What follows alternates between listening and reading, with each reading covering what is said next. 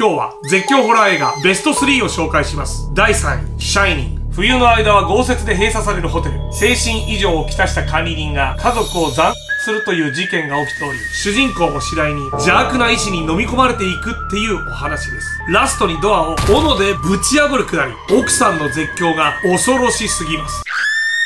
第2位、ハロウィン。必要に家族を付け狙い、そうとする精神病院を脱獄した兄のマイケル・マイヤーズを前に、これでもかというほど悲鳴を上げたジェイミー・リー・カーティスという女優が素晴らしい。本作で彼女が気づいたのは、平凡だが賢くセクシーという後の礎になるキャラクターを見事に演じました。第1位、サイコ。絶叫クイーンを語る上で、ジャレット・リーは外せません。ヒッチコック監督の最古のシャワーシーンは非常に有名で、ジャレット・リーという女優名は知らなくても、つんざくようなあのシャワーシーンでの絶叫、知ってる人は多いでしょう。今見ても恐ろしい。忘れないよ